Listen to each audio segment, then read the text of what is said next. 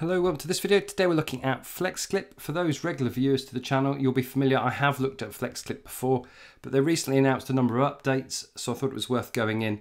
This time I'm going to focus on creating a particular thing. So I'm going to look at creating a outro to my YouTube channel, which allows me then to add other links and just give it a more professional looking thing. And I think it's a good way just to run through a project and show you all of the functions and features. So very quickly just go through the navigation. So we've got here I'm on the home page. I can see my projects across the top.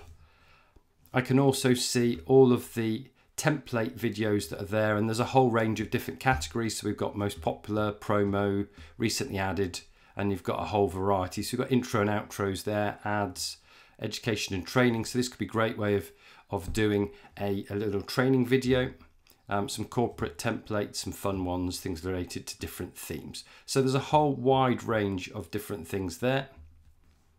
Um, my projects just shows you my projects, favorites, anything that you favorited. Um, stock videos allows you to search their massive library of stock videos. So there's a whole range of stuff. So this is focused on tech, but I could go uh, and, and see what we get in the way of outros. So there's really easy to find all of the types of different things uh, and you can choose whether it's most relevant or most downloaded, most highest rated or trending. So you can really get an idea. So highest rated for outro, it's going to be those. So we've got a whole range of different stock videos available. So let's start by creating our own. So we're going to jump in and click start from scratch.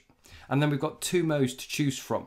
So as, as I roll over my mouse, you, you can see the preview there. So the timeline one, you have a timeline at the bottom, you add elements and you can drag and drop elements um, in a timeline. You can uh, add transitions as you go, or you can choose the storyboard mode, which is just adding frames. So very similar, but subtly different in the way that you do it.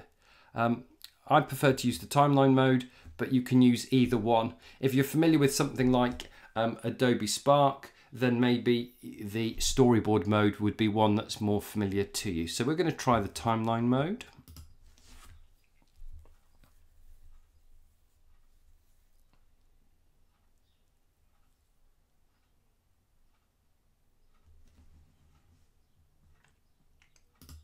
Okay, so we've now got a first scene and that's three seconds long. So let's just talk through the window here. So we can undo, step backwards and forwards at the top. We've got the ability to change the ratio. So we can change the ratio depending on what we're shooting the, the footage for, whether that be um, for a particular type of device or whether it be super widescreen. I'm going to leave it at 16.9 ratio.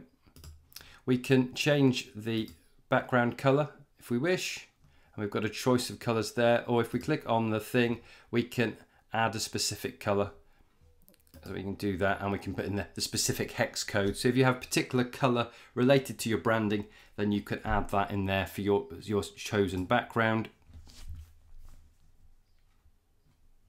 If we click on the arrows we can look at it uh, full frame. So we've got the whole editor full frame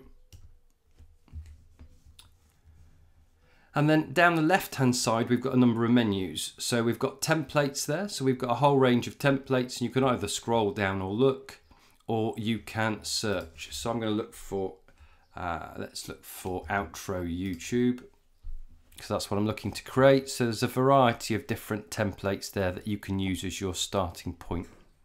So what we're going to do is we'll scroll down. Let's see which one takes my fancy. So maybe something like that one or or should we go for something like this?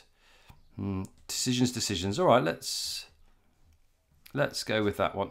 So what you can also do is you can favorite stuff. So if they're they're for outros, it could be you make a, a slightly different outro for each video, uh, and instead of having to search for them, you can just click on the favorite, and then that'll appear in your favorites list.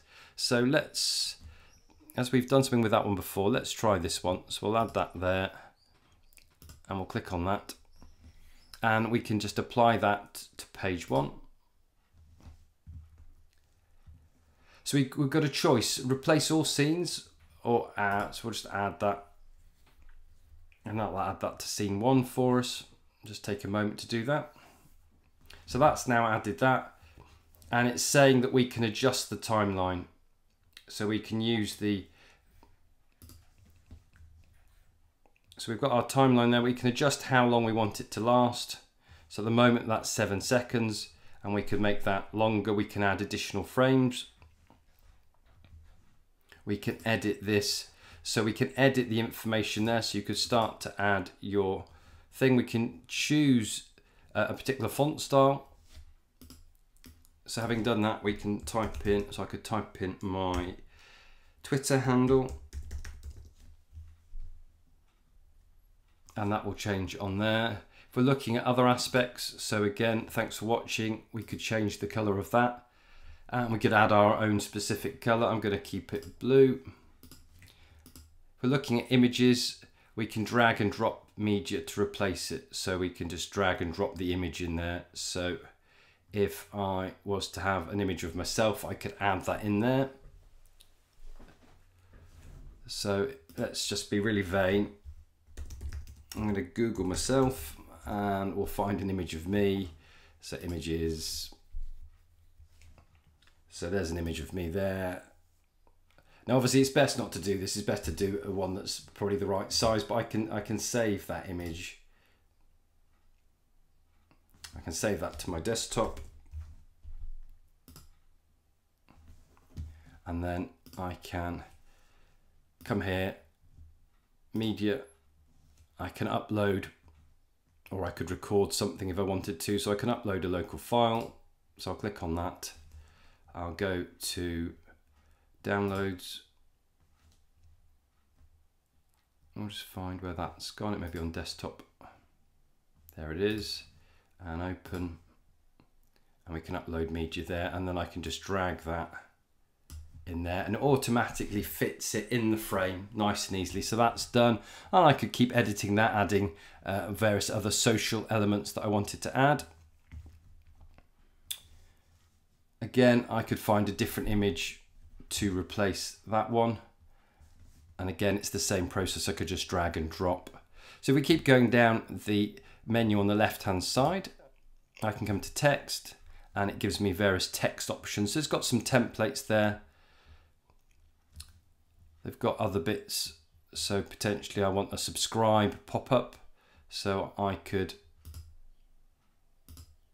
add that and I can position that. So I may decide I want to get rid of that one. So I can click and get rid of that. I can move that. As I select it, I get the little handles appearing on the corners. So I can adjust that Now that's multiple elements, so I've just selected one element. So let's try that now. That's better, I've selected all of it and I can adjust the size of that and position that where I want it. And at any point I can just do a little preview. Now it could be that maybe I, I'm not so fussed with the audio, so I can delete the audio if I wish. Uh, and I can just add additional audio by clicking add audio. So, so far we're building up the components just by looking through that. So we've changed the text, we've added a different image. Let's keep going down. So go to video. And it may be I want a, a, a particular background video. So I could add a background video. And there are lots of videos. And again, you can just search for the video, but say I wanted that video. So I can click plus uh, and there's a video there and I can choose where I want it to play so I could add other elements. I'm going to undo that and you can do that just by clicking undo. So that's how you can add videos. If we go to photos, we can search uh, for photos from the library again. So we can look for images that we want and we can add those. Music wise, there's various different options and you can choose to add that. So just to show you, click add, it will appear at the bottom uh, and you can just click and drag to, to, to, shorten it to the length. So we could preview that. So that's adding that. I'm going to keep mine without any audio. So I'll just select that and delete that. And we could add additional scenes. Now this is just an outro, so I'm quite happy with it as it is.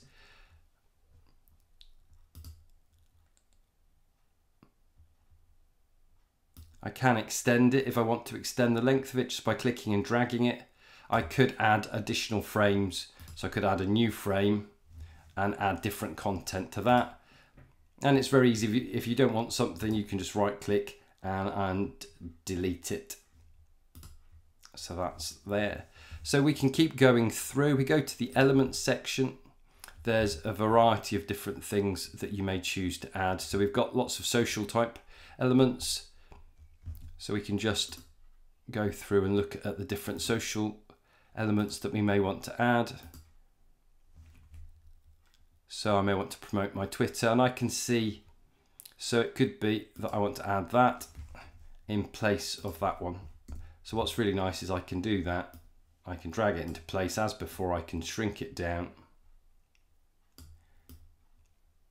So it's ready and then I can do my play so I get a preview of, of that appearing as I want. So you could see you could start to build up your your scene as you want it to be. So there's a blank bit there at the moment, which I don't need. So I can, again, just delete that. So we're going straight into the outro now. So again, I can just do a play preview. So we're getting there. Um, next bit, we've got overlays. So as it suggests, these are different overlays that you can add. So there's a whole variety. If you if you roll your mouse over it, it gives you a little preview of what's there. So let's try adding one of those. We'll add a, a let's try, let's see what else we've got here.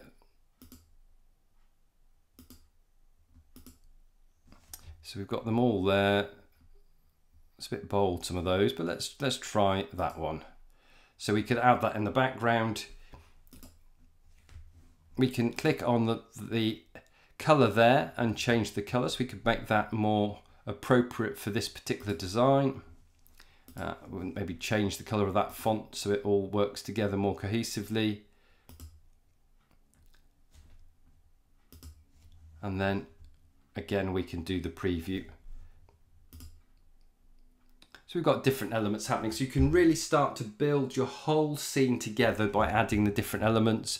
Final element, we've got the, the background and there's various backgrounds um, which we could add. So we could do that and it'll add in the background so it appears there. But what's really nice is you can remove it if you don't want to want it there.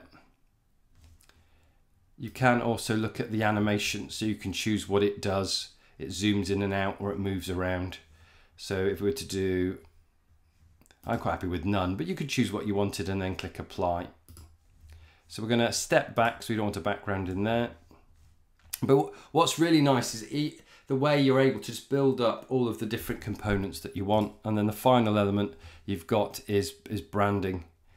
Uh, and you can choose your image font type and, and how you want it to look. So when you're all happy with that, just one tip that I forgot to mention previously.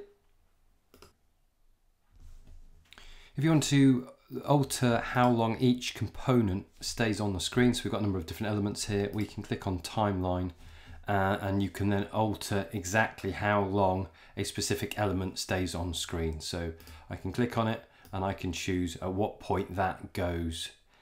So I can decide any bit elements I want to keep for on screen for the whole time or I can play it as I go. So that's just using the timeline feature. You can go to the export section uh, and you can export it and it depends on your subscription level as to the quality that you get. So 480p is, is, is standard quality. Um, you've got good, which is part of your basic subscription, and uh, the 1080p, which is part of the plus subscription. But when you click export, it will uh, provide you with a link or it'll give you the option of looking at the share settings within that so you can choose how to share it. So there you have it, FlexClip, a really great way to create a video which you can then use as part of your your social media campaign or maybe as a how-to video, whatever it may be, but just a great way to build up that video with all of the different components and use it in a variety of ways, um, either with your students or yourself. So I hope you found that video useful. If you did, remember to subscribe to the channel and join me again soon for more videos. Thanks for watching.